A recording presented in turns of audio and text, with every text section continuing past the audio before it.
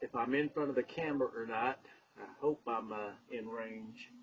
But this is the uh, the IQ camera, and uh, I believe the sound quality of my voice and everything will be fine. It's just the uh, underlying sound that seems muffled to me and everything. Uh, and then again, maybe it's the hair growing over my ears because I haven't had a haircut in a while.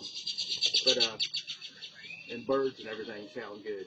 It's just the uh, kind of like background noises uh, sound muffled.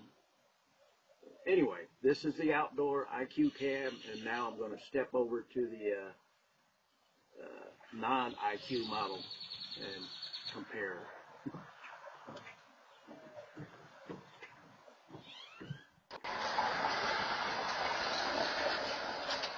So, uh, well, here's the uh, non-IQ model. I'm about the same, probably about the same distance away from this one. This is the, uh, the original one I've always had. And I've always been happy with the sound on it. It seems to uh, uh, pick up everything, which is maybe good, not good, I don't know. But uh, I know the uh, newer one has noise canceling and all this stuff.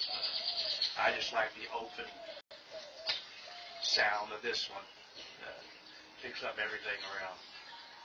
Maybe a little higher tone quality. I can't really explain it, but this is the uh, this is the older model. I'm the same distance away and uh, talking in the same tone. We'll give a listen, see what it sounds like.